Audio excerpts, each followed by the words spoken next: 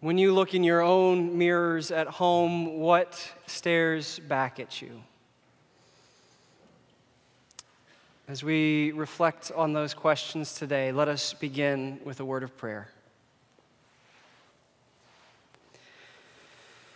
God of grace and mercy, this day we pray that you would open our ears, that we might hear your word afresh and anew, and open our hearts, that we might love you in deeper and deeper ways. And God, in all things, may we reflect your love as it has been set before us in the example of Jesus Christ. Amen. So, how many people here are Harry Potter fans? All right, I think this is actually the highest concentration in any of the services today, which is exactly the opposite of my expectation. Well, the first Harry Potter book came out 16 years ago Harry Potter and the Sorcerer's Stone. The first movie came out 14 years ago. And the first book, the first movie, focused on a young Harry Potter learning about his abilities as a wizard. You're a wizard, Harry, starts the, the movie. He goes off to a school where he meets a few new friends and they go on a quest to find this powerful magic item. Well, in the middle of the movie, Harry gets this invisibility cloak, and he uses it to sneak around school at night. And as he looks, he stumbles upon a mirror. And, well, let's just take a look at what happens when he finds that mirror.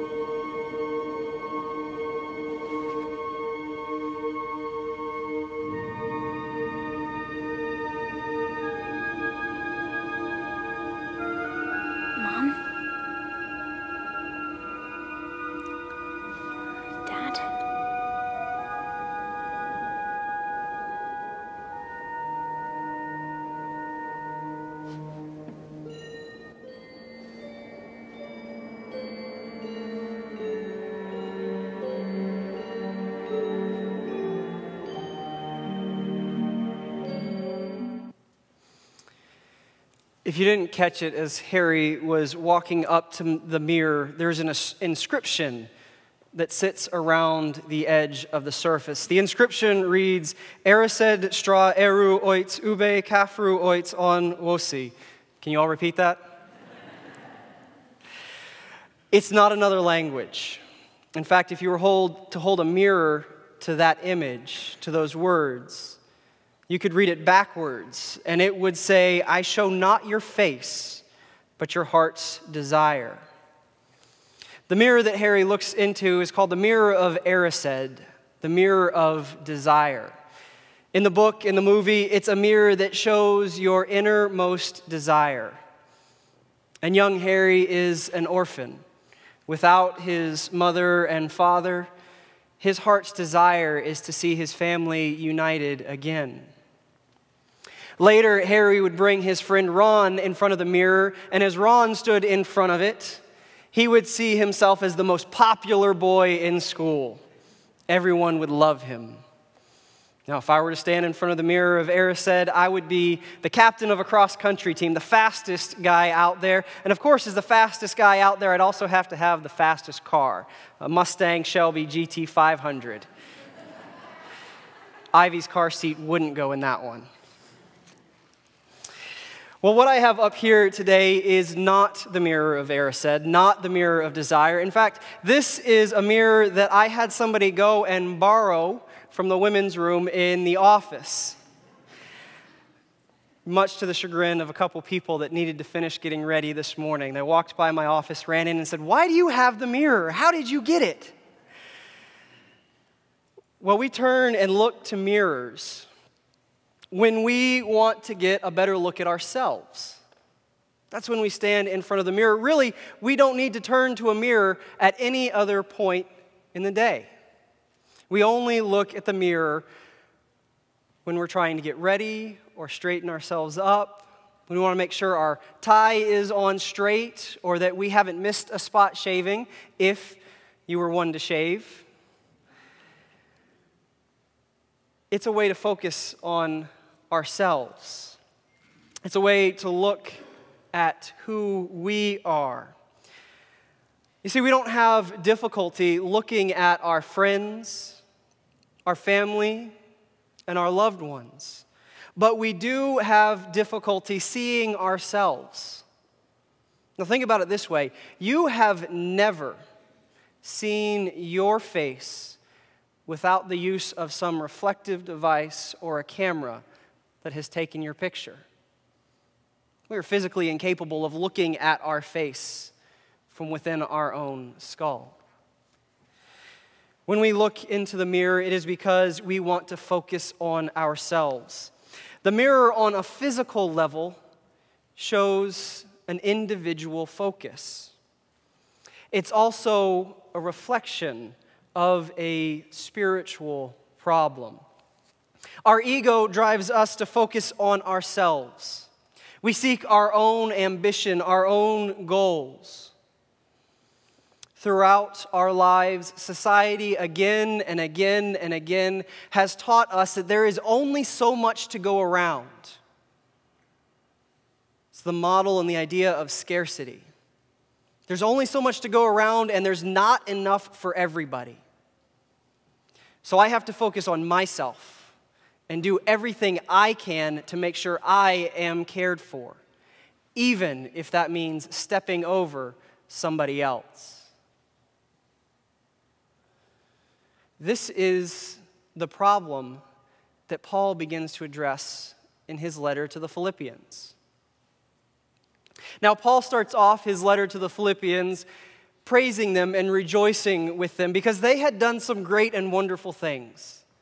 They had grown in wonderful and new ways, and God was working in that community. But Paul saw a problem had begun to break his heart for this community that he loved so dearly, that he held in such high regard. Indeed, the Philippian church was one of Paul's favorite churches. But he sees something that needs to be addressed. And so the second chapter starts out with the following phrase If then, there is any encouragement in Christ, any consolation from love, any sharing in the Spirit, any compassion and sympathy. Make my joy complete. Be of the same mind, having the same love, being in full accord and of one mind. Do nothing from selfish ambition or conceit. You see, in Philippi, small quarrels and squabbles were beginning to arise. Paul had learned this from others that had relayed the news to him, that shared with him that there were petty jealousies and fighting over honors and rewards.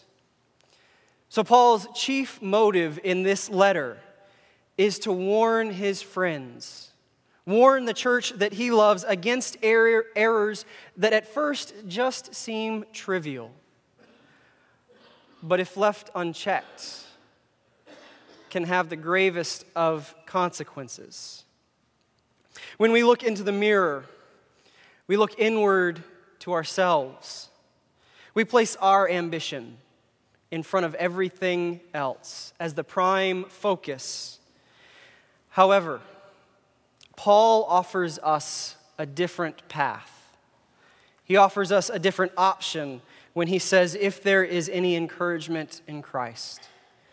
Danny's translation might read, if there is any support in Christ, or anyone you might call to your side, call them, and together be unified with Christ. But what does it mean to be unified together, to be of the same mind? Paul offers in Philippians 2 1 through 11 one of his first efforts to define the essential mark of all who call themselves Christians. Do nothing from, selfish, from selfishness or conceit Look to the larger good, leaving yourself out of account. Paul begs his readers to follow the example of Christ and live a humble life. The unifying mark of a Christian is, is humility. Now, most of Philippians is a very personal letter. It's devoid of some of Paul's finer, more eloquent speeches, more, some of his more grammatically sound and structured writings. Much of it is the same that you, much of it is written in the same way that you would write to one of your friends. Hey, how's it going? It's been a while since I've seen or heard from you. You're not really going to focus too much on making sure who and whom is correct but in verses 5 through 11, Paul changes his writing style. Here, the grammar is sharp. The language is succinct and precise. And if you read it in the original Greek, it comes across almost like a song.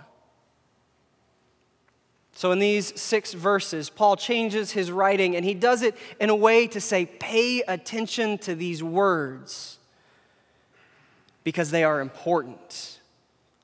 If you forget everything else in this letter, pay attention to these words. These words that call us to a life of humility, that remind us that God lowered God's self to the form of a human.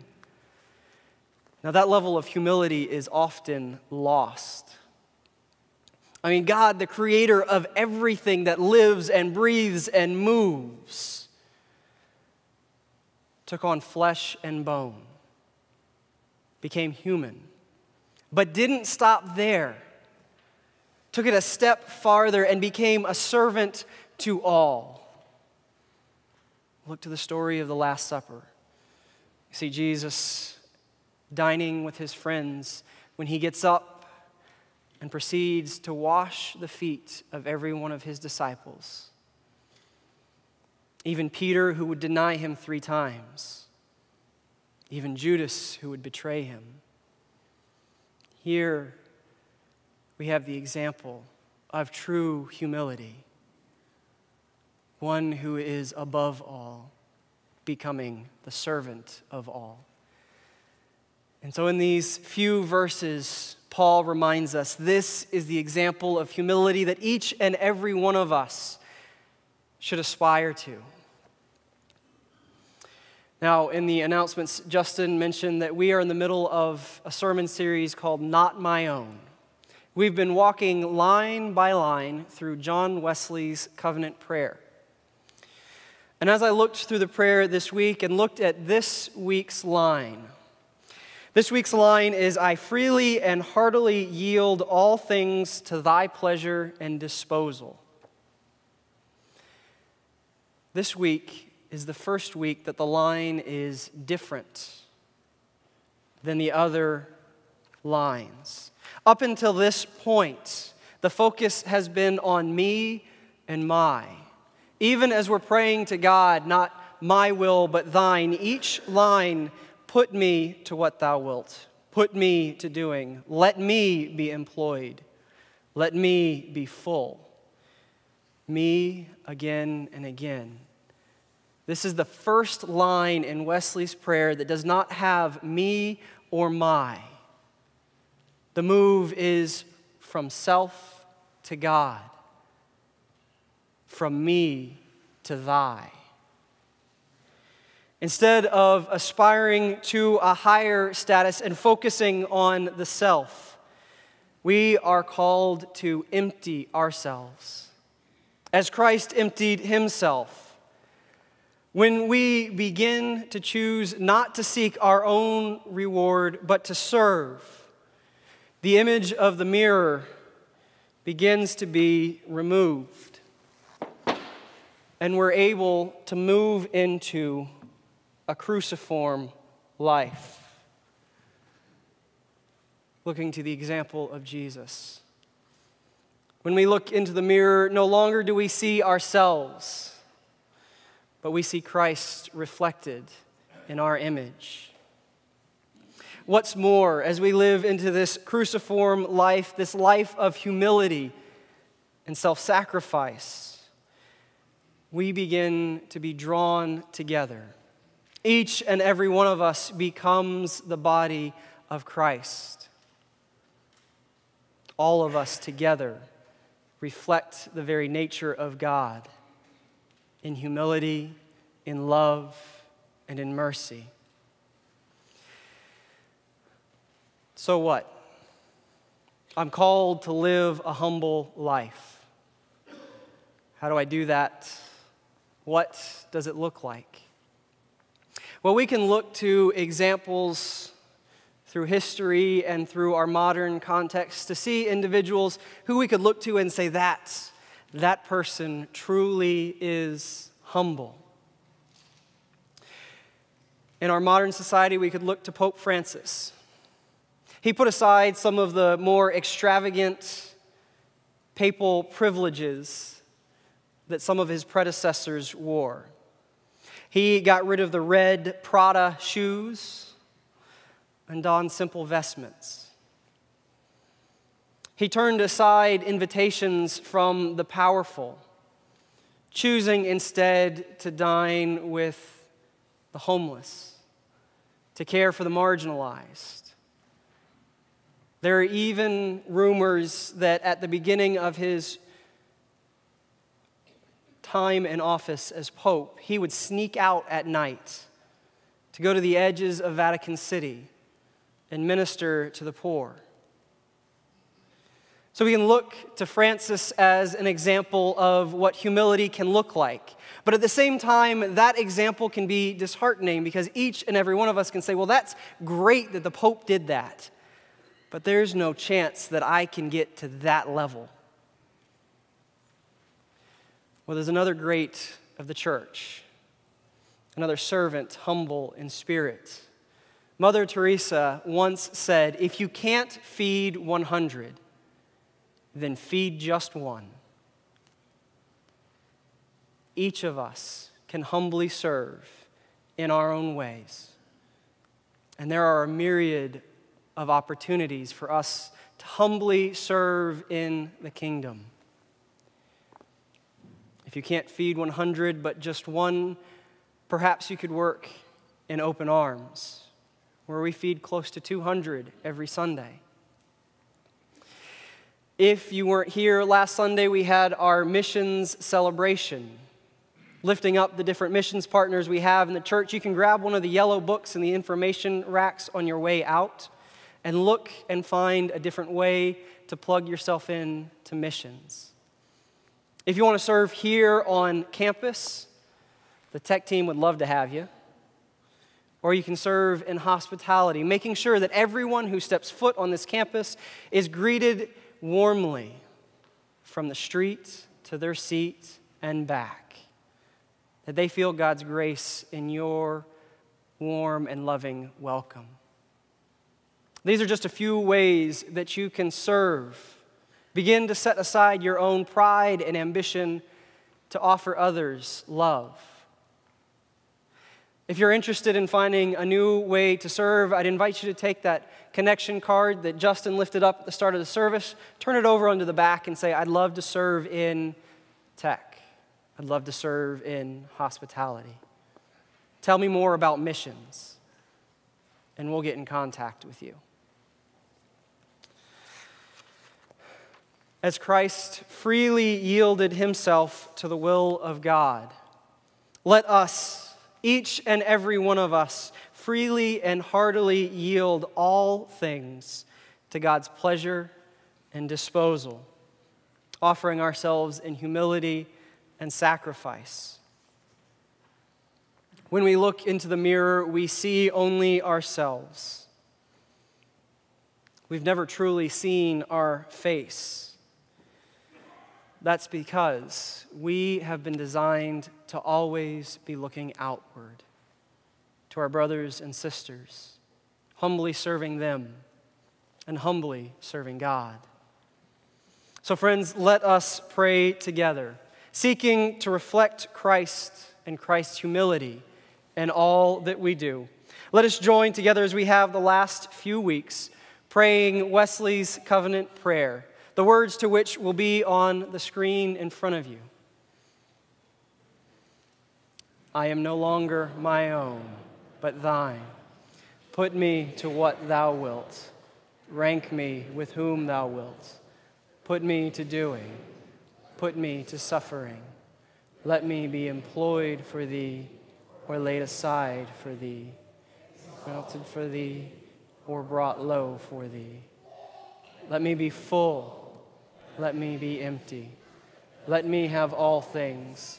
Let me have nothing. I freely and heartily yield all things to thy pleasure and disposal.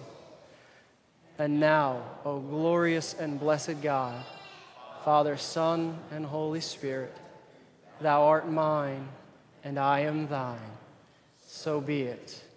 And the covenant which I have made on earth let it be ratified in heaven. Amen. With all humility and thanksgiving, let us turn to God, offering our tithes and our gifts.